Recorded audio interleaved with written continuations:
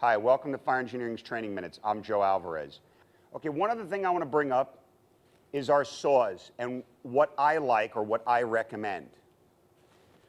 What I recommend is using our rotary saw. The reason why is you don't have to worry about losing the blade. The saw also guides itself down for you. When I take this saw and I put it on my roof, it sits flat on the deck with its feet. I'm going to take the saw and I'm going to run the RPMs up. And this should be something that you should hear. You should not be grabbing this trigger and depressing it as hard as you can. It's a plastic trigger with a very small rod that's holding onto it. You should be practicing this saw and you should be running through it and knowing what the RPMs sound like in your head. It should all be by ear.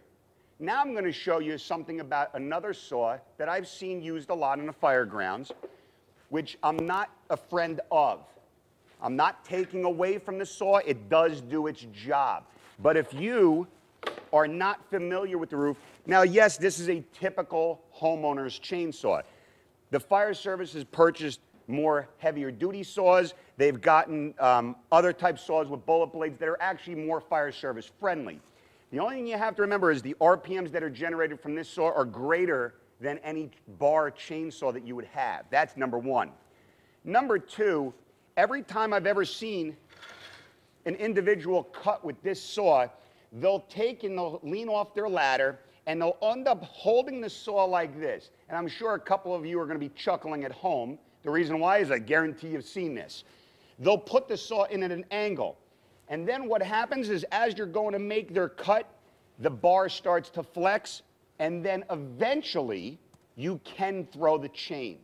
You have to remember, it's a gear with a chain on it. This chain is the weak link. It's made to fail. So as you go and torque this, you snap your chain, you better make sure you have some tools with you because, again, conventional methods are going to have to come into play.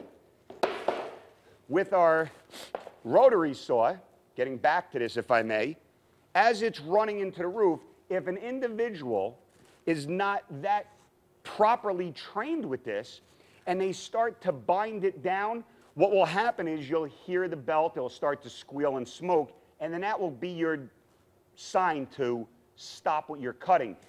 So I just went over those two functions of these saws. What I want to bring up, though, when I said about putting the feet down and running the saw in, with this, when we do a kerf cut or an inspection cut, it's very simple with this saw, and when guys cut, they'll do that. They put the saw on its feet, and they'll bury the blade, and the blade will go all the way down through into the decking. That's a 12-inch cut. When I come over here and I want to do my inspection cut, I don't want to run the saw into my cut. So what I'm going to do is I sit it on its feet. I make the first cut, bring it around, put it on its feet. I'm only dropping it the width of the blade each time. I'm not running the saw down the roof. I'm just dropping it in, okay? And as I drop it in, it makes my little inspection hole. When we cut, as I said before, saw goes down, we put it in the roof, and we walk it. I've not seen too many firefighters take this bar, put it down, push in, and then walk it. They're always taking this saw and doing a plunge cut, which is pretty dangerous because that will cause the saw to kick back if you hit something. Um, depending on veteran or junior guys, like I said earlier, you have to be careful because when you bury this, that's the depth you're going to get. One more thing that's very important is the individual that's watching the cutter, the spotter, whatever you want to call that individual. While the, while the cutter is making our cuts, we want to keep in contact with that individual at all times, hand on. If the hand is on, we're ready to cut. Once my hand comes off, cutting should stop immediately, okay? That could have been I either lost my footing and fell backwards, I fell off the edge of the roof, a chief officer, no pun, the chief officer might want my attention.